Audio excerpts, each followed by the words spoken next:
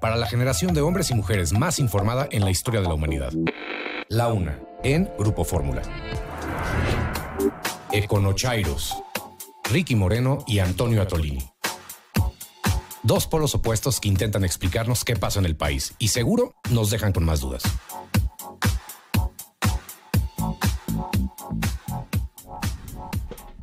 Amigos, y es así como continúa la una y ya están los famosísimos. La Siempre- hora más prendida de la radio. 15 minutos más perdidos de la radio, los Ah, Econochairos, claro. que sí, con ah, yo soy Ricky Moreno y mi amigo Antonio Tolini, que, Antonio Tolini como Atole, pero con doble T. que cumpleaños ayer. Muchas felicidades. Ayer cumpleaños, exactamente. Muchas Cumplí felicidades. 27 años. Yo ahora estoy en una 27. permanente amenaza de morir porque el rockstar como soy, eh, voy a morir a los 27 años. Entonces tengo 365 días para ganarle a la muerte. Eso es como Final Destination. No creo, pero bueno, pero Tolini- justamente Toquemos madera de que no. Cumple 27 años con 5 años de pelearte Ay, con mira, la me pusieron las mañanitas y todo. Ay, te pusieron las mañanitas. Ay, qué bonito. Oye, pero bueno, vamos a empezar ya a platicar. Quedamos en las eh, Econochairos pasados que nos íbamos a alejar de pues de los temas de la de- ya de las elecciones. ¿no? Vamos a darle un gober- respiro al país. Sí, o sea, a nuestros amigos de provincia vamos a hablar de otra cosa. Seguro ya estaban hartos que si el Edomex, como algunos ya estarán a 17 años de Andrés Manuel, pero hay muchos. Eh, ¿Ves? Pero- Ni 20 segundos. Neta, ni 20 segundos antes de que metas a Andrés Manuel en una conversión que no tiene nada que ver. No, no, nada más. Es el récord de Eh, Econochairos no, ahora, ¿eh? Ese fue, ese fue el comentario de por qué vamos a hablar. Porque ahora vamos a hablar de algo que la verdad estuvo muy padre. Eh, a mí me gusta mucho hablar de este tema porque casi, casi nos hace olvidar que tuvimos conflictos serios con ellos en 1986 y 1998. Ricky Moreno, ¿a qué te refieres? Me estoy refiriendo a la visita de la eh, primer ministra de La canciller. la canciller, porque es canciller de Angela Merkel a nuestro país. De Alemania. Y nos fue tan bien y estuvo tan bonita que, verdad, yo. Esas lágrimas que tuve en Francia 98 se me olvidaron. ¿Cuántos años tenías en Francia Mundial. 98? Tenía 15 años, Yo güey. tenía 8 años y estaba en segundo de primaria. Yo sí creí que íbamos a llegar al mundial, ¿no? Pero bueno, Angela Merkel, este, la verdad es que vino a, a- a- a curar esas heridas, esas heridas. Angela Merkel tuvo una visita de Estado este fin de semana. Estuvo reunida con las más altas figuras de este gobierno improvisado y verdaderamente mareado de poder. Pero bueno, bueno, Pues sí, o sea, ya son unos Ya- mandados al final que, bueno, nos pero hacen vamos a hablar de Angela Merkel, ¿no? Por eso, a ver, Peña La recibió Espérame, pero en un contexto internacional que vale la pena muy señalar. importante, muy importante, porque ahorita eh, pareciera ser que eh, Donald Trump ha dejado de hablar de nosotros para empezar. Tiene ya es. varios meses que no habla tanto de nosotros como ha empezado a hablar de Alemania. Entonces, queremos Exacto. decir que tenemos pues, como un novio ardido en común, ¿no? Así es. Un novio ardilla que, que- que no nos deja. Y entonces, esta visita representa algo muy importante porque en la última re- reunión del G20, donde simplemente no apareció la palabra América Así es. Latina, para nada. El G20, este grupo de las 20 economías más grandes. más grandes, más está México Exactamente. y Brasil y otros Y, países de y América no Latina. hablaron y Angela Merkel muy atinadamente decide venir a nuestro país con Así una para- con una escala muy rápida en Argentina. En Argentina. Es importante decir donde reactivan, donde es este como relanzamiento de relaciones con los con los argentinos que anda, no se llevaban muy bien acá con tu tía Kirchner, aunque pero bueno, entonces Ahora, hay que decir varias cosas también porque es importante. Alemania es la principal economía de la zona euro. Verdaderamente Alemania y la defensa que está hecho desde los tiempos de la Comunidad Europea ha sido siempre muy importante y pilar y bastión de este proyecto que llamamos la Unión Europea. Pero también hay una cosa que poco sabemos, que México tiene un tratado de libre comercio con Alemania desde el año Exactamente. 2000. Exactamente. Entonces, parte de la visita de Angela Merkel fue la renovación del Tratado de Libre Comercio que tenemos con, Ale- con Alemania, que tiene casi ya dos décadas. Entonces, Ahora- también en ese contexto de multilateralismo económico, vale la pena eh, que Alemania esté visitando nuestro país. La gente que vive en Puebla, que sabe que ahí está la Audi, que ahí está la Volkswagen, que ahí están muchísimas maquilas no, son, empresas espérame, alemanas. son 2000 empresas Así es. este, que tienen capital eh, alemán que están en México. Y no solo eso, ahorita que hablas del Trato de Libre Comercio, es que Alemania es la cuarta nación con la que más tenemos deal. Obviamente primero es Estados Unidos, que sí, andamos medio ardidos, no, no, pero... no hay- Ellos con nosotros, no es nuestra culpa. No es nuestra culpa. Ellos son los que se pusieron mal y nosotros estamos tratando de ser siempre los buenos siempre vecinos con del el sur. muro, etcétera. Sí. Exacto. Ellos son los culpables. Entonces son Estados Unidos, Canadá, China y Así el cuarto es Alemania. Entonces, Alemania. para Alemania es- también es muy importante este, que esto vaya creciendo. Y justamente lo platicaba con, con Atolini, es, creo que son estas oportunidades que, que, que si Trump nos, nos, nos orilló a empezar a buscar esta, eh, eh, a quitarnos esta dependencia tan, tan marcada que teníamos con Estados Unidos. Y bueno, pues al final está dando frutos. Esta, esta no es algo, rompimiento, es y algo que, que, se ha dejado patente durante el, los cinco años horrorosos que lleva este sexenio, es que si a algo le importa a este gobierno son las opiniones, eh, las ideas y los posicionamientos que hace de, de nuestro país en el extranjero. Uh -huh. La prensa internacional, los foros internacionales. Eso le importa mucho a este, a este gobierno. Y Angela Merkel vino a decir cosas bien importantes. La primera, la preocupación que tiene el Estado alemán frente a la, el estado de indefensión en el que se encuentra la libertad de expresión en nuestro país. Habló sobre el contexto de violencia contra los periodistas y eso es un golpanazazazazo brutal que viene desde fuera con intereses de, sí. con intereses de derechos humanos bien importantes. Y también, y esto hay que recordarlo porque hay que saber dónde se dicen las cosas. Angela Merkel en el espacio más importante donde están los eh, secretarios de Estado, el propio presidente, habla de la confianza de Alemania al país, dadas las reformas estructurales, uh -huh. el, la construcción de Estado de Derecho, pero una reunión más en corto con representantes de sociedad civil, sí dijo... Aquí lo tengo, ¿eh? Dijo, quienes representan la libertad de expresión son, son los periodistas in, independientes, ha afirmado. Ya estamos cooperando en materia de promoción del Estado de Derecho y donde podemos ayudar, lo vamos a hacer. Esto lo hizo en, re, en relación a, la, a, los siete asesinatos de periodistas mexicanos en lo que va del año. Solo en este año. Solo en este año, sí, sí. Exactamente. Sí, o, sea, o, sea, vamos a ver, nos da mucho gusto que viniera, pero la señora sí nos regañó. No, y sí qué bien y qué bueno, porque a ver, nosotros tenemos una historia, por lo menos desde el sexenio de Calderón, nosotros tenemos una historia, eh, también es una suerte de relación amor-odio con Alemania, porque Alemania siempre ha estado muy preocupada en esta agenda de derechos humanos. Y en el sexenio de Calderón, un sexenio que estuvo marcado por la lucha anti. Eh, la, la, lucha contra la correcta lucha anti No, la, la correcta. La, fallida, bueno, improvisada. La correcta y tan terrible lucha, lucha. antinarco. No, no. Una Sí. lucha que generó 150 mil muertes, desaparecidos, Necesaria. violaciones. Pero ese es otro tema, Tolini. Entonces, vamos a seguir. En la lucha anticorrupción que es necesaria. Eh, eh, perdón, es que me distraje un poco. Ah, No sé si te escuché bien, Ricardo, pero Ah. bueno. Angela Merkel ha sido.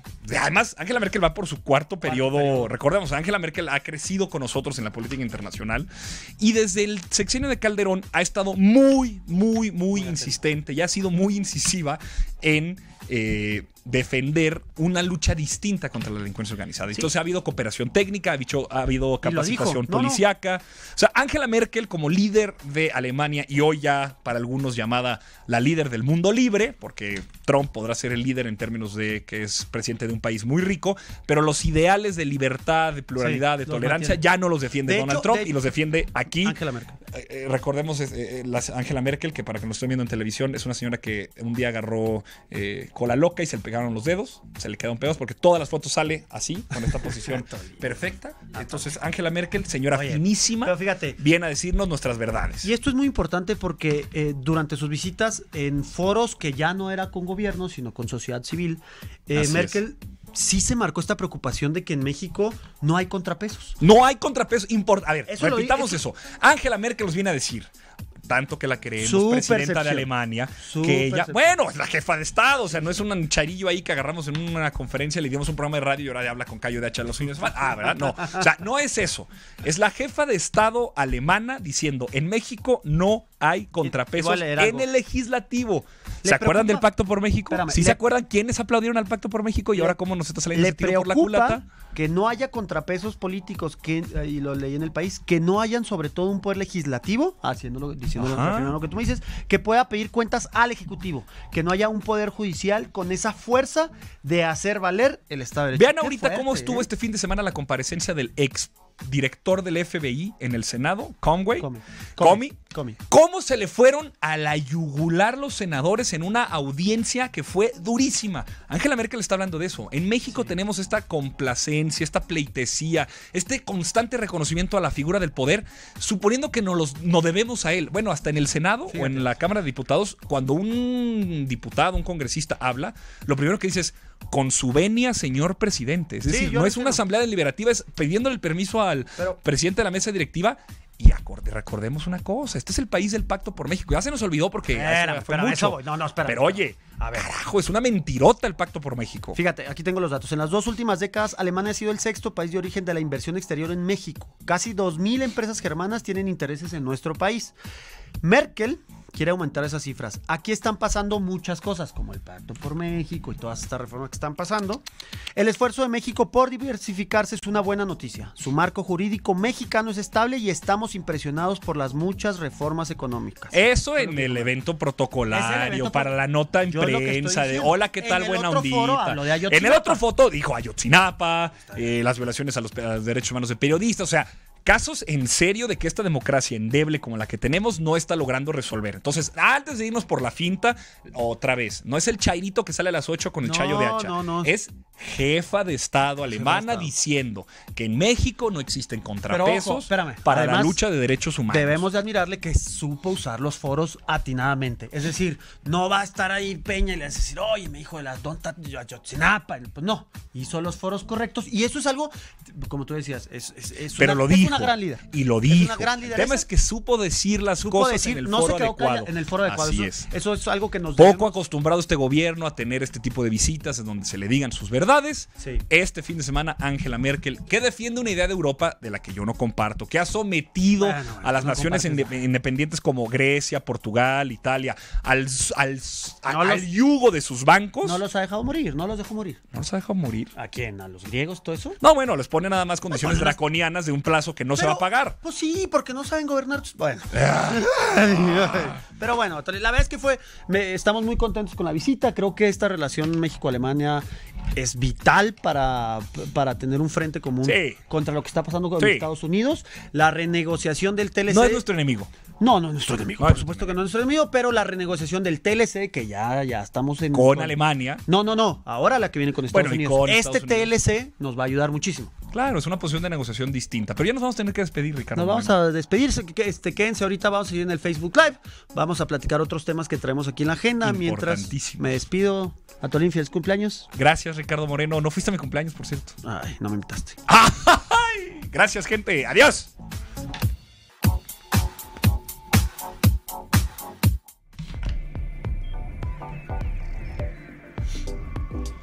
Quiero enfatizar, ¿Qué? enfatizar. ¿Qué? Es que de veras quiero que la gente se vaya con este mensaje. ¿Qué?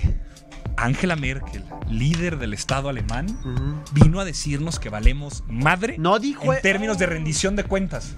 No Que el legislativo está aplastado completamente. No dijo eso. Eso no dijo, güey. Güey, Eso no dijo. por favor repite otra vez la... Le la- preocupa que no haya contrapesos políticos, que no haya sobre todo un poder legislativo que pueda pedir cuentas al Ejecutivo, que no haya un poder judicial con esa fuerza hacer valer el Estado de Derecho. Güey, un, un poder judicial que no puede hacer valer el Estado de Derecho es un poder judicial de adorno, No, no, no. de gasto Eso superfluo, no dijo.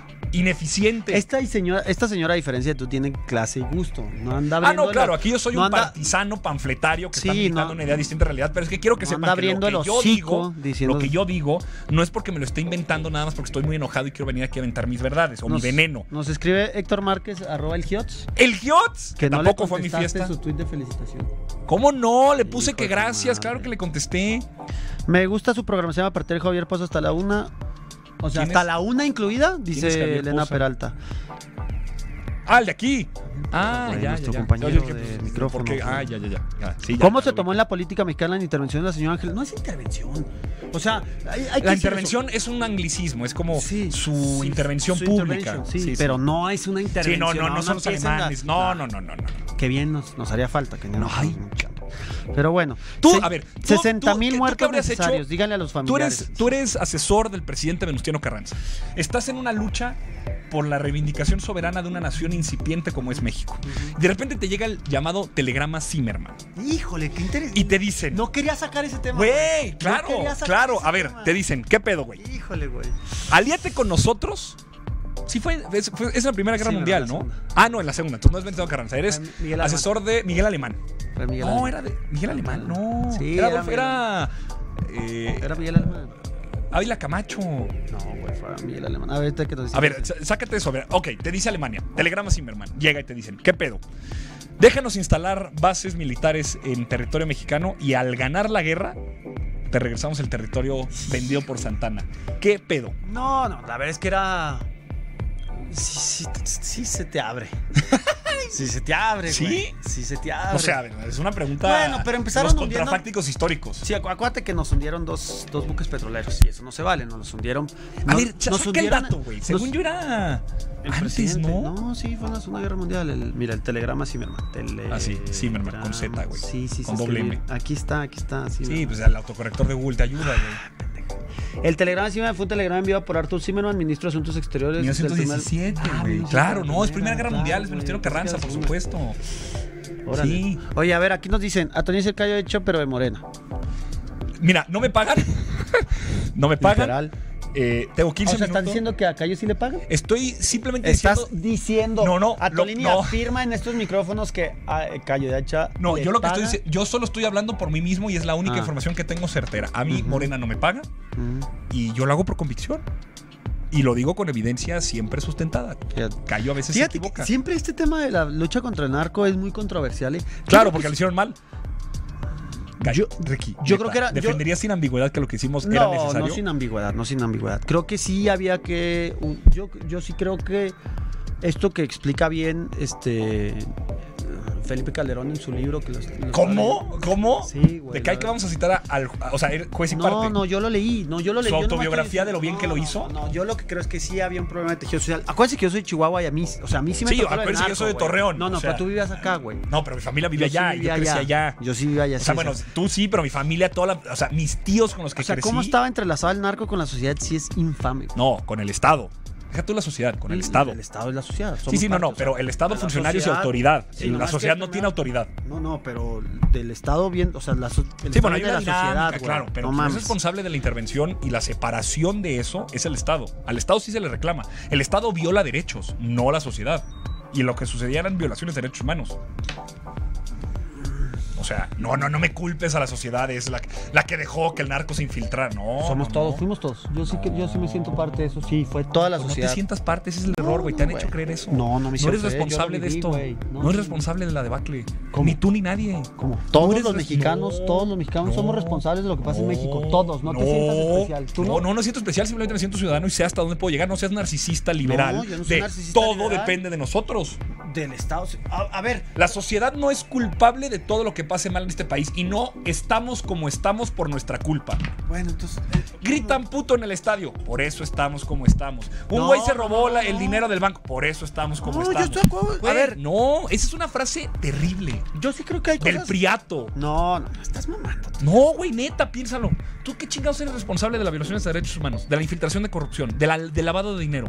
Pues Híjole. tú no eres funcionario público, tú no eres No, autoridad, tú no eres Estado. No, no, no, pero va- vamos a decir, con un abstencionismo de más del 50%. No, la gente no es estúpida. Nos involucra. O sea, el tema es, güey. la gente no va a votar simplemente porque no le interesa y no le gusta, pero no es su culpa, es la gente que no está haciendo esto relevante. Javier San es Romano dice: pónganse de acuerdo. No. No. Lo estás agarrando mal. Es más, no desconéctate a la chingada. Es más, este no es tu programa, Este güey. no es tu programa, güey. Si no, no. Ve con callo. Exacto. El Estado somos los que todos los que integramos la sociedad. ¿Mm? No lo estoy diciendo yo. Ay. Dice Guadalupe González Ricardo. Lenin diría, el. Estado es la diferencia irreconciliable entre dos Es que clases es tu sociales. cumpleaños, no te- estás. Eso diría Lenin, estoy citando. Es que fue tu cumpleaños. no te- Sé que. Sé que no. Sí, güey, sí. Paola Itzel Flores, felicidades mil, mi amor a Tolini. Oye, Tolini, ¿qué andas buscando novio? No, no, estoy bien. ¿Novio? No, tampoco, eso sí. ¿Por jamás. qué no? Porque no soy homosexual. Mayate. Tú eres mi mayate. Tu Tú eres mi mayatito. Fue Tú en la primera Ricky Moreno, ahí está. Tolini es el callo de hacha, pero Morena ya los vimos. Oigan, pues sí, la verdad es que me- este tema, qué bueno que nos alejamos de las elecciones. Sí, ahora, a ver. Oye, yo encontré, Importante. yo encontré un artículo muy bueno que sí te dije, ¿viste cuánto cuesta el, el voto? ¿Cuánto costó el voto por partido? El voto más bajo era el de Morena. O sea, Sí, para, porque la, votó can- un chingo de gente. para, para la cantidad de gente que votó por Morena Claro. y el acceso que tenía a los Esas son parte de las recursos discusiones que hay que tener. Eso estuvo chingón. Pero el PT, unos putos pillos, güey. Pues no son pillos, Sí simplemente. son pillos, a Tolini. Ahora es lo el vas a esquema de, no, es el esquema de financiamiento público. Pinches vivales, pillos. Vivales. Moisés Díaz aquí presente, editorializando a la- vivales. al margen. Son vivales. Un saludo a Moisés Díaz, que aquí está. No, no está mal. A ver, en que tengamos una cosa, la democracia cuesta. Cuesta dinero. Y cada espacio no, que nosotros. No, cada peso que le quitemos a partidos, instituciones, reglamentos, eh, poderes. Es un espacio que estamos dejando para que algún privado lo ocupe o simplemente la achicamos. No, que sean menos diputados. A ver, güey. No es tan fácil, no es sencillo. Somos un país de 120 millones de mexicanos, 300 distritos, por ahí electorales. fíjate. La democracia para un país de este tamaño ¿Viste, cuesta. viste, viste el, Cuesta dinero. Para los que vieron el estaba leyendo el Reforma y vi el, el, este la caricatura de Calderón, que es muy me parece fantástico Calderón a mí, el caricaturista. A mí no, pero un polemista como él es fundamental. Sí, a mí- Pica, a mí o sea, pa- para mí es un puto fascista. Pero creo que hizo una mala mala comparación de que de, Cal- Paco Calderón, lo repito, es un puto fascista. de, de bueno. Pero qué bueno que el puto fascista. ¿Me dejas hablar, fascista? Discúlpame, tienes razón. Tú eres el fascista, güey. No. Hizo una comparación de Australia con, con México y que allá tenían 30 candidatos y lo que valían las elecciones de allá y lo que valen las elecciones de acá. A- a- a- Creo que sí es importante una el mensaje. De método pero 101. así no sé. Una lección de método 101 para estos improvisados de No la discusión pública. no, sí. Comparen Como lo nosotros. comparable. Como nosotros. No, güey, yo sí estudié, cabrón, perdón. O sea, discúlpeme. Comparen lo comparable. Ni es el mismo territorio, ni es el mismo sistema, ni, Ni ni están buscando el mismo resultado. Australia tiene uno de los sistemas de elección más complicados, que es algo así como la primera. Es un método que combina segunda vuelta con borda. Que solamente cuatro países del mundo, de la Polinesia Francesa, Nueva Zelanda y Australia, tienen, que supuestamente re- reduce la mayor cantidad de diferencial entre la cantidad de votación emitida y la representación que se da en curules. Pero es una cosa tan complicada, tan específica, que pasa por una cosa que sí es cierta. Listas abiertas y candidaturas primarias. En México no lo hay. Ahí tú puedes elegir dentro de la cantidad de puestos que hay una serie de personas que pueden llegar a ocuparla. En México llegan unos dedos Fíjate. y te dicen este, este y este y hazle como quieras. Lo va a leer, De ¿eh? ahí ya es diferente. Fíjate, dice, una elección federal en Australia cuesta la décima parte que una elección estatal nuestra. Con tres veces Eso el no área... dice nada. Eso no dice nada, ¿eh? Ya sé es que todavía no acabo. Ah. Con tres veces el área de México, Australia tiene nueve jurisdicciones electorales. México 300 distritos en 32 estados. Los australianos eligen cada tres años un parlamento dividido en dos cámaras, 150 diputados y 76 senadores. Nosotros 500 y 128. Ahí va. En Australia el gobierno cuenta los votos. No hay unas transparentes. Los resultados se conocen esa misma noche. Y lo dice, nadie desconfía, nadie se dice robado, todos reconocen, todos contentos y todos en paz. Comparación El decir- injusta, déjame decir, dirán algunos, es otra cultura, producto de otra historia, como tú. Claro. Cierto, Australia nació como colonia penal, la mayoría de sus habitantes descienden de presidarios. ¿Cuál es nuestra excusa, Astolín? Él pregunta, ¿cuál es nuestra excusa? Porque nosotros hemos tenido una Oye, precaria institucionalización por cierto, ya, histórica último tema, y el ¿es cierto? petróleo que nos financia. Oye. Nosotros no tenemos incentivos a la formación de ciudadanos porque el gobierno no depende de nuestra ¿Es relación con cierta ellos. esa invitación que andaba circulando en el Twitter de a la misa de Maximiliano de Habsburgo? Sí, claro. Es cierto, Claro, güey. en este No país estés mamando. todavía existe un importante sector de la población No mames. virreinal que vive en esta colonia eh, linda de la Ciudad de México con nombres de científicos del siglo XVII. Ya hablas como Andrés Manuel, ¿te fijas? ¿Alguien se fijó? Habla, habla como Ok, Polanco. Sí, ¿por qué no pusiste Polanco? A Porque me ah, gusta ah, el dedito maligno. ¿Dónde? Güey, el dedito maligno me encanta.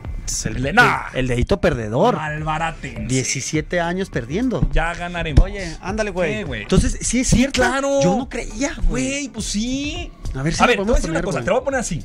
Yo en el ITAM tuve un compañero Habsburg. Fuera de pedo. Un amigo mío de apellido hay Habsburgo. unos- Hay unos niños Bush, hay unos niños de muchos apellidos. Perdón, güey. hay unos niños Bush. Sí, de todas muchos. maneras es espe- espectacular. ¿Habsburgo no te parece extraordinario? Es el hijo del emperador austriaco, güey. Que vino a México a poner orden. Bueno, pero- Habsburg. sí, pero no tuvo hijos, güey. Es familia, no, no tuvo hijos. Bueno, familia Habsburgo, güey. Como el que convoca el don Carlos Habsburgo y Lorena a la misa del fallecimiento del emperador. Pero sí es cierto, güey. Qué cabrón Pues salió en eso. reforma, ¿no? Es así como No, estas no sale. convocatorias. No, yo la vi en Twitter. Petit, ah, del Villop, ¿no? ¿Lo viste? Sí, lo vi en las cuentas estas de de ultraderecha. Los Young Republicans. Sí, los Young Republicans. Pero, oye, pero sí, ¿será? Bueno, Bueno, si a ver, alguien va, que ¿por nos qué. México? O sea, no es comparable, pero no es el argumento esotérico de, ay, que somos distintos. Porque, a ver, tampoco somos tan. Regresando tan a lo de. Australia. Regresando a lo de Australia. Mm. Nada más es comparar, lo comparable. También este elemento, lo que más me importa rescatar es, quien grita fraude, quien se indigna por, la- por los probables casos de corrupción, quien está pidiendo que se revise el proceso, son los principales demócratas. Son los principales defensores de una idea de república en donde alguien que tiene evidencia, eh, argumento, motivación y fundamentación para Oye, decir, Estado de Derecho, me corrígeme esto, Me aventé lo ¿por de- qué lo entienden como, o sea, La me aven- cabrón, Me aventé, autoritario. la- me aventé el artículo este de tu tío John Ackerman, ¿lo leíste? No, yo no leo a John Ackerman. Qué basura, güey. ¿Por qué, ¿Por qué no le dices a Andrés Manuel que se quite esos cabrones de encima? Pues, si conociera yo a Andrés Manuel y lo tuviera en WhatsApp y le escribo. le y- dirías? Sí, claro. Esas piltrafas de No. pseudo periodistas. No, John Ackerman no, no, no. Pésimo no su artículo, güey. John. Ackerman no nos hace bien porque. Y lo en proceso, cabrón. O sea, ya lo que sea. Es que. que sigue a Tolini en Radio la Fórmula. hay- Hay que hablarle a la gente que no está necesariamente con nosotros. Hay que hablarle a la gente que piensa distinto a nosotros. Hay que hablarle a la gente que no no quiero es. decir mentiras, como este cabrón. Bueno, John Ackerman sí se ha pasado de lanza. Pero él está hablándole a la endogamia más ciega, autorreferencial de militantes Ciegos. no necesariamente politizados. Qué cosa. Pero bueno, vámonos. ¿Cómo ves? ¿Todo bien? ¿Todo bien? Sí. Acabamos hablando de Andrés Manuel chingado. Ya sí. Bueno, al, al rato vamos a estar en, en Radio Confianza. Basta. Hoy es lunes. Ya no. tengo mi sección ¿Ya particular. tienes tu sección? Ya. Cuéntanos a tu Ya, ¿De voy qué vas a hablar? sección. Hoy voy a hablar del artículo de Jesús Silva Gerso. Porque es mi sección, me vale madres voy a hacer lo que yo quiera y todo lo haces aburrido. Me vale madres. Vamos a hablar del artículo publicado hoy de Jesús Silva Gerso en Ujú, Reforma ujú. sobre eh, la. ¿Qué- ¿Cómo se llamaba? La- el, el ocaso de una disciplina, creo que se llama, una cosa así. Está hablando de ciencia política. Está diciendo justo cómo la ciencia política no alcanza a Qué entender. interesante. No, está Mm, padre, porque es No espero que sean las 8 de la No, noche. No, no, no. Es que el tema lo que dice es. Mm. Todo el pedo que está pasando en el país, todo el fraude electoral, toda la, la desconfianza con las instituciones. Hay un grupo de personas, los académicos, los que estudian ciencia política, los que estudiamos ciencia política, que no alcanzamos a ofrecer resultados. No alcanzamos a ofrecer ni siquiera un vocabulario común para poder explicar esto. Entonces pasa lo que pasa de. Ay, aquí a todo grita- mundo. No, aquí todo el mundo grita fraude, pinche corrupción. Y no entendemos cómo darle sentido a esto. Y a ver, México sí tiene o tuvo una importante generación de politólogos que le dieron un sentido grandísimo a la disciplina. El único mexicano, ahí te va, para que estas cosas que a ti te gustaría. A ver. El único mexicano, o más bien, el primer mexicano que publicó un artículo de investigación en donde había una regresión, un mecanismo estadístico para poder diferenciar la influencia de una variable con otra, lo más sofisticado que en este momento hay como en matemáticas y es el fetiche de la ciencia política para eso, fue eh, Casitas. Molinaro Casitas en los finales de los 80, casi casi a mano, porque antes no estaban estas cosas tan sofisticadas de computadoras, logró establecer una cosa que se llamaba... sofisticado. No, es que ahorita es una computadora y lo pones. Espérame, espérame. Bueno, pero nada más para ya terminar. Pero descubrió una Espérame, cosa que espérame. es el número efectivo de partidos. ¿Cuántos minutos va a ser de esto? En tu sección. ¿Quién sabe? Eh, Averígüenlo a las 8 de la Wow, noche. qué no, y él encontró lo que se llamaba el no número puedo efectivo de esperar a que partidos. sean las, las 8 en el 104.1, En el ¿verdad, güey? 104.1. Güey, son cosas que hay que saber. Wow. Yo me parece que es interesante. En el, en el Súper, azote güey. de valemos madre, nadie hace Súper, nada. síguelo haciendo así. Güey, México tiene con de politólogos de hacha, primer nivel. Yo estudié ciencia política, hay que hacerlo. Tú no, te- a ver, a ver, no tienes, a ver, ¿qué referentes mexicanos tú tienes en tu área de expertise? ¿Qué? ¿De En lo que tú internacionalistas? quieras, en lo que tú quieras. Tú no valoras algo que dices, No, claro, esta gente me encanta. Jesús No, Silva sí. Gerso, que excelente politólogo. eh, Beatriz Magaloni. El papá del señor Alberto Díaz. Calleros. Carajo, hay mexicanos de primer nivel que le están dando al mundo maneras de Bueno, entender el fenómeno ¿Sabes qué? Vamos a cortar el tema porque la gente ya no aguanta la emoción de que vas a hablar esto en la noche, güey. La misma gente, eh, perdón. Nadie se me ha ido. La gente está ávida de conocimiento. Ávida de conocimiento Ávida de conocimiento. Es lo que no entienden ustedes. La gente en serio puede comprender una manera distinta de entender ¿Ves cómo hablas como Andrés Manuel? Es lo que ustedes no comprenden. No, ustedes te hablo a ti. La Ah, gente, yo claro pensé que está. que la gente, no, la gente está aquí al tiro del cañón. Es una generación distinta. La generación más informada de hombres y mujeres en la historia de este país. Qué bonita frase. Como Ah, bien no. decimos aquí. A Tolini, un gusto como siempre. Ricky, qué padre estuvo. Vamos al ratillo. Sí, vamos al Este, ratillo, vámonos. Gracias, Memo. Gracias a toda la raza. Adiós. La una. En Grupo Fórmula.